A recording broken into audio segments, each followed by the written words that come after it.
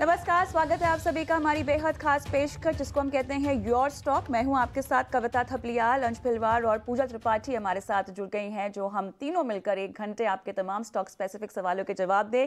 Show की शुरुआत करें उससे पहले ईटी नौ स्वदेश और योर स्टॉक की पूरी टीम की तरफ़ से आप सभी को रक्षाबंधन की ढेरों शुभकामनाएँ। और मेरे ख्याल से भद्रा का लगा हुआ है, इसीलिए डेढ़ बजे के बाद के आसपास जो है राखी बांधना शुरू करेंगी बहनें। तो आज के शो में खास बात ये होने वाली है कि न सिर्फ़ आपको आपके लंबे अवधि के निवेश के लिए हम आपको स्टॉक्स बताएँगे, बल्कि रक्षाबंधन के मौके पर वो कौन सा रक्षा सूत्र हो सकता है जो फाइनेंशियल गिफ्ट के तौर पे आप अपनी बहनों को दे सकते हैं? और अब तो मेरे ख्याल से अगर बहन बड़ी है तो अपने भाई को जो कि छोटा है, उसे भी इसी भी इस तरह के रक्षा सूत्र दे सकती है। तो आज शो में बहुत कुछ होने वाला है और लेकिन योर स्टॉक में आप भी भागीदारी जो है वो ले सकते हैं। इस खास मौके को शुभ बना सकते हैं। कैसे? बताती हूँ आपको। सवाल पूछ सकते हैं आप अपने। तरीका बेहद आसान है। आपको बस अपने स्टॉक स्पेसिफिक सवाल पूछने के लिए एक नंबर जो आपके स्क्रीन पे फ्लैश हो रहा है, वहाँ पर एसएमएस कर देना है अपने सवाल, या आप चाहते हैं तो व्हाट्सएप के ज़रिए भी अपने सवाल हम तक पहुँचा सकते हैं। और सोशल मीडिया के मौके पर सोशल मीडिया पर, क्योंकि अगर आप हमारे साथ जुड़े हुए हैं तो आप, खासतौर से यूट्यूब पर अपने सवाल कॉमेंट बॉक्स में छोड़ सकते हैं, और एक एक करके आपको हम लाइव शो में पार्टिसिपेट करने का मौका देंगे, और हमारे एक्सपर्ट से भी आप बातचीत कर पाएँगे। और आज तमाम सवालों के जवाब देने के लिए लिए मेरे साथ जुड़ गए हैं जेएम फाइनेंशियल के तेजस शाह और विघ्नहरा इन्वेस्टमेंट्स के सुमित अमूल चंदानी आप दोनों का स्वागत है इस खास पेशकश में और आप दोनों के पास में आऊँ और बाज़ार को लेकर और रक्षाबंधन के मौके पर ले, को लेकर आपके त्योहारी गिफ्ट्स क्या हो सकते हैं अपनी बहनों को? ये सवाल पूछूँ, उससे पहले बाज़ार का एक चेक ले लेते हैं झटपट, जहाँ पर हम देख रहे हैं कि ऊपरी स्तरों से थोड़ा सा कमज़ोर होता हुआ बाज़ार, लेकिन चौबीस पाँच के आसपास ही घूम रहा है, काफ़ी फ्लैट लेकिन बैंक निफ्टी आप देखिए, फ़िलहाल पचास यहाँ पर चार सौ पचास के आसपास के लेवल्स हैं। और तो एक दायरे में घूमता हुआ दिखाई दे रहा है। निफ्टी की भी अगर हम बात करें, लेकिन देखना होगा कि 24 550 के लेवल के आगे और ये कितना अब जाता है या टिका रहता है। आज का सेशन काफ़ी एक्टिव, लेकिन मिड कैप, स्मॉल कैप्स में आज के सत्र में हमें एक्शन दिखाई दे रहा है। स्टॉक स्पेसिफिक मूवमेंट बहुत ज़्यादा है। हम डिफेंस स्टॉक्स की बात करें रेल स्टॉक्स की बात करें और क्योंकि अब ट्रिगर्स हम देख रहे हैं एक तरह से तिमाही नतीजों के ख़त्म हो चुके हैं और अब रेट कट का एक सिनेरियो है जो कि शायद बाज़ार ग्लोबली भापना चाहेगा। तो अब स्टॉक स्पेसिफिक एक्शन पर थोड़ा सा आप सभी को गौर देना हो, गौर करना होगा और इसी के लिए हमारे एक्सपर्ट्स भी हमारे साथ जुड़ गए हैं। एक बार टेक्निकल लेवल्स हम देख लेते हैं। तेजस, आपके पास आऊँगी सबसे पहले। हम दोनों को सबसे पहले तो रक्षाबंधन की शुभकामनाएँ और तैयारी तैयारी कैसी है रक्षाबंधन की? आप दोनों क्या तैयार हैं अपनी अपनी बहनों को तोहफे देने के लिए? तेजस, बताइए। गुड मॉर्निंग आपको और तमाम दर्शकों को मेरा नमस्कार और रक्षाबंधन की सभी दर्शकों और आपको खूब खूब शुभकामनाएँ।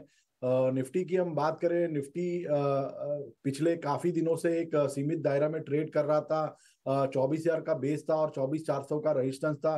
फ्राइडे के सत्र में हमने देखा कि एक फ्रेश ब्रेकआउट आया था निफ्टी ने और एक शानदार हमने रैली देखी थी निफ्टी में। आज हल्की सी मुनाफा वसूली देख रही है। साढ़े तीन सौ के पॉइंट की करीबन रैली देखी थी निफ्टी में।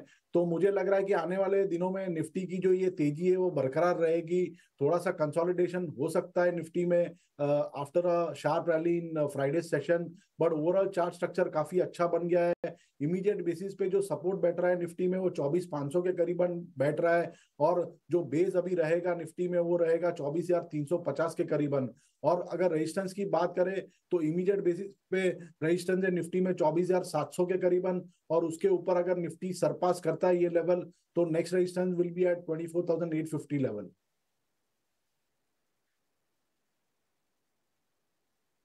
तो ये है सलाह निफ्टी पर आपके लिए। लेकिन चलिए सवाल जवाब का सिलसिला भी शुरू करते हैं।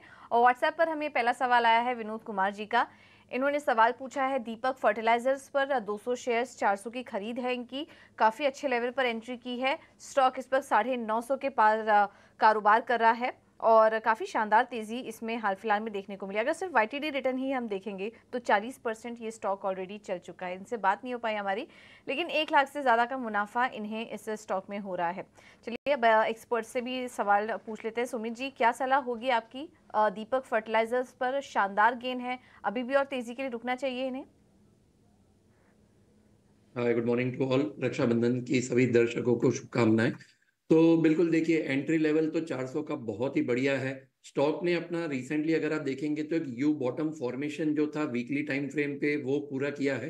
तो जो यू बॉटम का एक रेजिस्टेंस था, एक हज़ार पचास के करीबन, वहाँ से थोड़ा सा यहाँ पे प्रॉफिट बुकिंग आया हुआ है।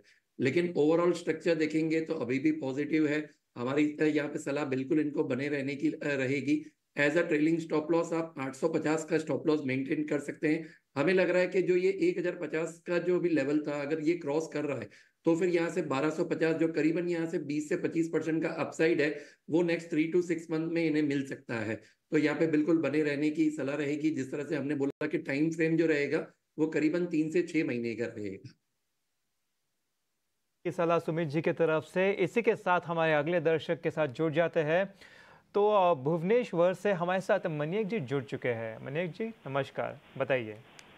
नमस्कार सर मैंने एक्चुअली दो शेयर के बारे में मुझे सर पूछना था। एक तो सर मैंने एस्ट्रल पाइप्स का लिया था तो उसका सर लगभग उसका शेयर भी बहुत गिर गया लगभग बाईस परसेंट का। और दूसरा सर पीएनबी का मैंने लिया हुआ था उसका भी लगभग सर सत्रह से अठारह परसेंट गिर गया है। तो थोड़ा सा सर अगर बताएँ कि आगे इन शेयर का क्या हो सकता है तो उस हिसाब से डिसीज़न ले सकते हैं। ठीक है। सुमित जी आपके पास ही आना चाहूँगा। दोनों शेयरों में इनकी खरीदारी है दोनों ही करीबन 20 प्रतिशत गिर चुके हैं। तो इतना गिरने के बाद यहाँ पे थोड़ा सा रिकवरी के कुछ चांसेस है क्या? और साथ ही एक स्टॉप लॉस भी बता दीजिए क्योंकि ऑलरेडी काफ़ी लॉस में चलते हुए नज़र आ रहे हैं यहाँ पर। मुझे सिर्फ़ एक बार ये रिकन्फर्म करना है कि इनका होल्डिंग पीरियड क्या है? तो उस तरह से हम फिर जी बिल्कुल। मनिक जी आपका होल्डिंग पीरियड क्या कितने समय तक इसे होल्ड करना देख रहे हैं? सर पीएनबी का तो मैंने जो होल्डिंग पीरियड सोचा था तीन महीने तो सर पार हो गया है क्योंकि जो मार्केट क्रैश हुआ वो तो गिर ही गया है। जी। तो अभी तो बस रिकवरी मोड के लिए बैठा हुआ हूँ एरेस्ट्रल का भी मुझे अभी पता नहीं चल पा रहा है, वो भी लग रहा है शायद उसी लाइन में ही जा रहा है। तो थोड़ा सा इसलिए होल्डिंग पीरियड तो एक का तो पार हो गया, दूसरा का तो अक्टूबर मैंने सोचा था अक्टूबर तक मैं होल्ड करूँगा, लेकिन स्थिति थोड़ा ठीक नहीं लग रहा है। जी सुमित जी तो होल्डिंग पीरियड ऑलमोस्ट समझ जाइए कि खत्म ही हो चुका है। बस अभी यहाँ पे उम्मीद की जा रही है कि यहाँ से क्या कुछ रिवर्सल आ सकता है, कुछ लेवल्स नज़र आ रहे हैं जहाँ से थोड़ा कुछ पॉजिटिविटी एक्सपेक्ट की जा सकती है? देखिए, सबसे पहले तो एस्ट्रल की बात होगी तो 2400 के करीबन इनकी एंट्री लेवल है, जो एक, जो यहाँ पे रीसेंट टॉप बना था वो था 2430 के करीबन। और अगर आप देखेंगे तो वहीं से ही प्रॉफिट बुकिंग आई थी। अगर हम देखें तो एक नेगेटिव डाइवर्जेंस था, और उसके बाद कंटिन्यू फॉल आया है। तो स्टॉक अगर आप रिसेंटली देखेंगे तो तीनों इंपॉर्टेंट मूविंग एवरेजेस के नीचे ही ट्रेड कर रहा है। तो यहाँ पे अभी हमें रिकवरी का तो कोई भी संकेत नहीं है। अगर आप देखेंगे तो कंटिन्यू फॉल आया है 1800 तक की लेवल्स अगर आप यहाँ पे देखेंगे तो 1800 से 1850 का जो जोन है, वो एक वीकली सपोर्ट है। तो यहाँ पे दोनों सिनारियोज हैं। वेट एंड वॉच कीजिए। अगर 1800 के नीचे, यहाँ पे अगर आपको डेली में दो सेशंस क्लोज मिल रहे हैं तो फिर बिल्कुल आप यहाँ पे अपना बुक कीजिए लॉस को और एग्जिट कर दीजिए। यही सलाह रहेगी, क्योंकि एज ऑफ़ नाउ टेक्निकली कोई भी रीबाउंड का हमें यहाँ पे संकेत नहीं मिल रहा है। दूसरा स्टॉक आपने डिस्कस किया था पीएनबी का। तो देखिए पीएनबी कंपेयर करेंगे अगर एस्ट्रल से तो यहाँ पे फिर भी एक सपोर्ट ले रहा है, एक पॉजिटिव डाइवर्जेंस बना है। आप देखेंगे तो पिछले दो दिन से आप 200 मूविंग एवरेज का एक सपोर्ट ले रहा है। लेकिन जो लो बना था फोर्थ ऑफ़ जून का, जो बजट कैंडल हम जिसे बोलते हैं, वो 110 के करीबन यहाँ पे सपोर्ट बना था। तो स्टॉक अगर यहाँ पे 110 के नीचे क्लोजिंग दे रहा है तो फिर हमें लग रहा है कि यहाँ पे भी एक प्रॉफिट बुकिंग आ सकती है टिल द लेवल्स ऑफ़ 98 तो फिर आप इसी तरह से अपना स्टॉप लॉस मेंटेन कीजिए और खड़े रहिए। अगर यहाँ पे रीबाउंड आ रहा है पीएनबी का तो 120 और 125 ये दो लेवल तक स्टॉक रिबाउंड कर सकता है, जहाँ पे आप एग्जिट कर सकते हैं। चलिए तो यही तमाम स्टॉक्स पर आपको सलाह दी जा रही है। व्हाट्सएप के ज़रिए विक्रम सिंह का सवाल हम लेंगे और तेजस राजस्थान से इन्होंने अपना सवाल भेजा है। इन्होंने खरीदारी कर रखी है नालको में और इनकी बाइंग प्राइस ये बता रहे हैं ऑलमोस्ट 169 के लेवल्स पर है। नज़रिया हमें पता नहीं है लेकिन काफ़ी रेंज बाउंड मूवमेंट रही है और मेरे ख्याल से फिर पिछले एक महीने में अगर आप स्टॉक देखें तो बहुत ज़्यादा नहीं वीक हो गया है क्या ये? तेजस।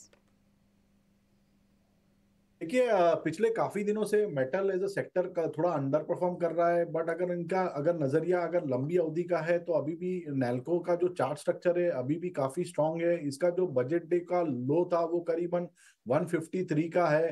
तो जब तक ये लेवल और जो इसकी 200 डे एक्सपोनेंशियल मूविंग एवरेज है, वो करीबन 159 के करीबन है तो मेरे हिसाब से ये स्टॉक अभी धीरे धीरे एक, जो लॉन्ग टर्म सपोर्ट है, उसके करीबन ट्रेड कर रहा है। बट इनका अगर लंबी अवधि का नज़रिया है तो मुझे लग रहा है कि स्टॉक में अभी भी कोई पैनिक जैसा है नहीं। एक पोजिशनल स्टॉप लॉस इनको रखना पड़ेगा 153 का। और यहाँ से अगर स्टॉक रैली करता है तो मुझे लग रहा है ये स्टॉक ऊपर में 180 से लेके 185 तक भी जा सकता है जहाँ पे वो एग्जिट कर सकते हैं। है तो ये है सलाह नैल्को पर आपके लिए। एक और सवाल ले लेते हैं। व्हाट्सएप पर ही आया है, महाराष्ट्र से रोहित जी का, और इन्होंने एनएमडीसी पर सवाल पूछा हुआ है। 500 शेयर्स हैं 220 की खरीद है इनकी। हाल फ़िलहाल की खरीद मालूम पड़ रही है एनएमडीसी पर। सुमित, क्या सलाह होगी आपकी? देखिए एनएमडीसी में भी अभी रिसेंटली काफ़ी अच्छा एक फॉल आया हुआ था। एक इम्पोर्टेंट सपोर्ट था जो 50 और 100 दिन का मूविंग एवरेज था 240 तो 240 के नीचे कंटिन्यू यहाँ पे प्रॉफिट बुकिंग का आप दौड़ देखेंगे। लेकिन रिसेंटली अगर आप देखेंगे तो एक बाउंस मिला था फ्रॉम द लेवल्स ऑफ़ 210 लेकिन ये अगर सस्टेन करेगा 240 के ऊपर तो ही एक फ्रेश मूव का यहाँ से एक्सपेक्टेशन है। अदरवाइज़ ये लेवल अगर यहाँ पे ब्रेक हो रहा है तो फिर 195 तक भी स्टॉक का फॉल आ सकता है। तो आप यहाँ पे वेट कीजिए, अगर 240 क्रॉस हो रहा है तो न्यू अपसाइड अदरवाइज़ 210 के नीचे आप एग्जिट कीजिए, ये बेटर एक स्ट्रेटजी रहेगी। पे 210 का एक स्टॉप लॉस जैसे मान सकते हैं, उसके नीचे एग्जिट करने की सलाह। ऊपर की तरफ़ एम लेवल दे दिए गए हैं, इसी के साथ रुक करते हमारे अगले सेगमेंट ऑप्शन के चैंपियन की ओर।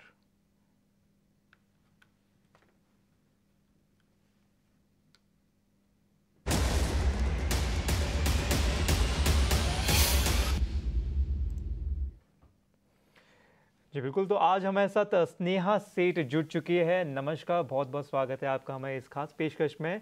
बताइए क्या है आज की आपकी रिकमेंडेशन गुड मॉर्निंग अंश। अगर आप देखें तो ओवरऑल uh, मार्केट में थोड़ा सा कंसोलिडेशन जैसा दिख रहा है। इसमें से अगर हम टाटा स्टील ये काउंटर देखें तो एक अच्छा करेक्शन आया है जहाँ पे काउंटर uh, काफ़ी दिनों से अपने 200 डे सिंपल मूविंग एवरेज के आसपास ट्रेड कर रहा है।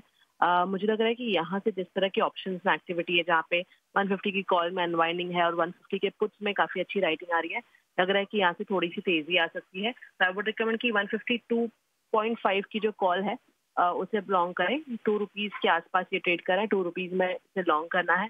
स्टॉप लॉस 0.9 का रहेगा टारगेट 3.7 के रहेंगे।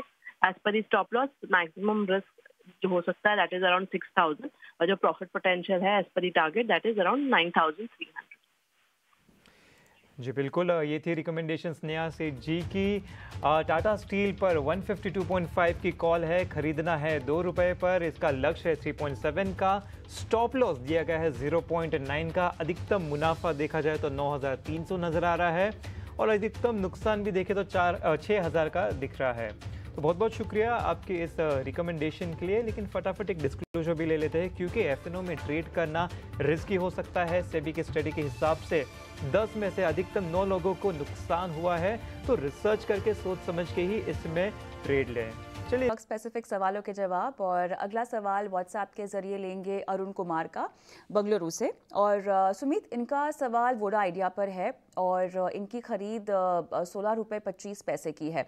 कुछ खास मोमेंट नहीं, पिछले एक महीने का अगर हम टाइम होराइजन पकड़ कर चले तो लगभग आज के ही प्राइस के आसपास घूमता हुआ दिखाई दे रहा है स्टॉक। अब इनको कितना लंबा रुकना चाहिए? और अगर आप रुकने की सलाह देंगे तो न्यूटर्म आउटलुक में क्या स्टॉप लॉस भी रिकमेंड करेंगे इनको? देखिए, यहाँ पे दोनों चीज़ें हैं। अगर कोई एक शॉर्ट टर्म प्लेयर है तो देखिए रिसेंटली स्टॉक ने अपना एक इम्पोर्टेंट रेजिस्टेंस था, जो वीकली में अगर आप देखेंगे तो 18 की लेवल क्योंकि स्टॉक ने सेम जनवरी में, फिर फेब्रवरी एंड में भी सेम लेवल से ही प्रॉफिट बुकिंग दिखाया था। तो अगर कोई शॉर्ट टर्म प्लेयर है तो यहाँ पे मेरा स्टॉप लॉस मेंटेन करने का रहेगा 1450 का। अगर 1450 ब्रेक कर रहा है तो फिर आप एग्जिट कीजिए। अदरवाइज़ यहाँ पे पूरे चांसेस हैं। देखिए, काफ़ी अच्छा एक सपोर्ट लिया है दोनों मूविंग एवरेजेस का 150 और यही सेम जो लेवल है, एक अगर किसी का लॉन्ग टर्म नज़रिया है तो आप ये डिप्स को यूटिलाइज कीजिए। देखिए, हमारे जो एडवाइजरी सर्विस है, उसमें हमने अपने क्लाइंटेज को एक लॉन्ग टर्म के लिए ये स्टॉक की सलाह दी हुई है। अगर दो से तीन साल का नज़रिया है तो फिर बिल्कुल आप बने रहिए। अगर लंबा नज़रिया है तो फिर स्टॉप लॉस आप मेंटेन करेंगे ट्वेल्व का। जो अभी रिसेंटली लिस्टिंग हुई थी ग्यारह रुपए पे और उसके बाद जो स्टॉक ने बाउंस दिया था तो हमें लग रहा है कि ये स्टॉक आगे अभी और क्षमता रखता है। तो अगर लॉन्ग टर्म का नज़रिया देखेंगे, जो जो पहला टारगेट रहेगा, वो रहेगा करीबन चौबीस रुपए का और दूसरा टारगेट रहेगा यहाँ पे उनतीस रुपए का। हम्म ठीक है तो ये है सलाह वुड आइडिया पर होल्ड करने की सलाह और स्टॉप लॉस और टारगेट भी आपको बता दिया है। आगे बढ़ते हैं और हमारे साथ अगले दर्शक जुड़े हैं राजस्थान से जितेंद्र। जितेंद्र जी, नमस्कार। ओके व्हाट्सएप के ज़रिए सवाल आया है हमें। एन एच पी सी आठ सौ शेयर्स इन्होंने लिया हुआ है एक सौ सोलह पर। थोड़ा ऊपरी लेवल पर ले लिया इन्होंने क्योंकि अभी फ़िलहाल 96 के आसपास स्टॉक कारोबार कर रहा है। हालाँकि आज भी ऊपर है लेकिन इन्होंने एंट्री थोड़े ऊपर लेवल पर किया कर ली है। 118 तो कम, कंपनी का ऑल टाइम हाई ही था और वहीं पर इन्होंने यहाँ पर ख़रीदारी कर ली है। सुमित जी क्या सलाह होगी आपकी एन पर? हाई लेवल्स पर एंट्री हुई है, अभी बने रहने की सलाह देंगे इनको और स्टॉप लॉस भी रिकमेंड कीजिए। देखिए, बिल्कुल आपने जो बात बोली, ये एक ट्रिपल टॉप फॉर्मेशन था। 116 पे ही स्टॉक ने रिजेक्शन लिया हुआ था। सबसे पहले जो ये रेट आया था, वो था फेब्रवरी में। अगेन सेकंड अटेम्प्ट हुआ था थर्ड ऑफ़ जून को। और अगर आप रिसेंटली देखेंगे तो जुलाई के जुलाई के सेकंड वीक में भी अटेम्प्ट हुआ था, लेकिन ये फेलियर था। तो देखिए, काफ़ी अच्छा एक इम्पोर्टेंट सपोर्ट पे है। 95 का जो लेवल्स है, वहीं से ही स्टॉक ने चलना चालू किया था और लास्ट टाइम भी जो कैंडल बनी थी फोर्थ ऑफ़ जून की, वहीं से स्टॉक ने बाउंस किया था। तो कल का जो लो रहेगा, वो बहुत एक इंपॉर्टेंट रहेगा। अगर हम टेक्निकल देखें तो पिछले तीन दिन का जो है एक स्टार फॉर्मेशन है, जो एक रिवर्सल कैंडिडेट है। तो बिल्कुल एक बार यहाँ पे बने रहने की सलाह रहेगी। स्टॉप लॉस मेंटेन करेंगे हम यहाँ पे 92 का।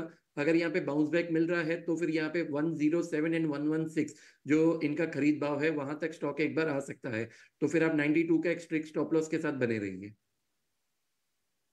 पे 92 का एक स्ट्रिक्ट स्टॉप लॉस रखिए ऊपर के तरफ़ 107 और उसके ऊपर जाके 116 तक जा सकता है इसमें अच्छी खरीदारी भी दिख सकती है। इसी के साथ हम अगले कॉलर को जोड़ लेते हैं। तो हमारे साथ ओडिशा से आनंद जी जुड़ चुके हैं। नमस्कार बताइए क्या है आपका सवाल? सर नमस्कार मेरा न्यू इंडिया इंश्योरेंस का दो सौ उन्नास पे एक सौ दस शेयर है। छह महीने का नज़रिया है क्या करना है। ठीक है आपने स्टॉक का नाम कौन सा बताया? New India Insurance New India Assurance ठीक है। और छह महीने का नज़रिया आपका ये एक ही स्टॉक है एक और स्टॉक है आपका? और भी स्टॉक है इरिडा का है दो सौ अस्सी शेयर दो सौ साठ पर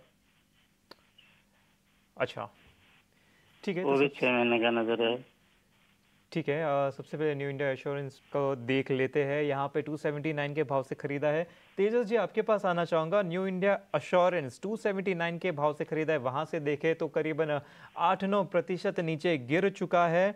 आज अच्छी खासी खरीदारी दिख रही है और रिसेंटली भी देखे तो 233 से अच्छी खरीदारी रिवर्सल भी नज़र आया था। तो क्या यहाँ पर एक अच्छा रिवर्सल कंटिन्यू होता हुआ नज़र आ सकता है? क्योंकि आज अच्छी खरीदारी ऑलरेडी होती हुई नज़र आ रही है।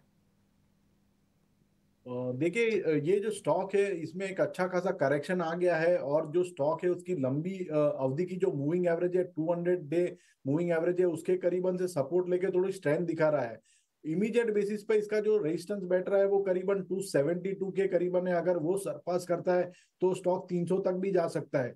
क्योंकि इनका नज़रिया लंबी अवधि का है तो मैं एक स्टॉप लॉस सजेस्ट करूँगा, जो है करीबन 227 का, वो 227 के स्टॉप लॉस से होल्ड कर सकते हैं। इसमें पहला लक्ष्य रहेगा 272 का, और वो अगर सरपास करता है तो ये स्टॉक 300 तक भी जा सकता है। चलिए तो स्टॉप लॉस के साथ रुके रहे। 300 तक के लेवल्स को भी पार कर सकता है। व्हाट्सएप के ज़रिए नितेश यादव का सवाल लेंगे। और बी uh, e पर इनका सवाल है uh, सुमित और क्लियरली न्यूज़ पेस एक्शन जो हमको स्टॉक में भी दिखाई दे रहा है। लेकिन uh, इनकी जो बाइंग प्राइस है आ, वो थ्री थ्री थ्री बता रहे हैं। तीन सौ पे इन्होंने जो है ख़रीदारी कर रखी है। आ, कितना लंबा व्यू सुमित? जी, बिल्कुल देखिए ट्रिपल थ्री का जो इनका एंट्री प्राइस है, वो करीबन ऑलमोस्ट टॉप है। ये लेवल सही थी जुलाई फ़र्स्ट टू सेकंड वीक में और स्टॉक ने वहीं से ही एक प्रॉफिट बुकिंग दिखाया था, लेकिन अभी भी यहाँ पे बने रहने की सलाह रहेगी। देखिए, अगर वीकली में मैं यहाँ पे देखूँ तो काफ़ी अच्छा एक इंपॉर्टेंट सपोर्ट है 280 का। तो टिल द टाइम 280 यहाँ पे ब्रेक नहीं हो रहा है, तब तक एक बार बने रहने की सलाह रहेगी। लेकिन 280 और 275 का जो जोन है, अगर यहाँ पे टेक्निकली ब्रेक हो रहा है और क्लोजिंग मिल रहा है तो फिर यहाँ पे एग्जिट रहेगा। लेकिन अगर आप देखेंगे तो एक बढ़िया सी यहाँ पे एक ट्रेंड लाइन का रेजिस्टेंस है।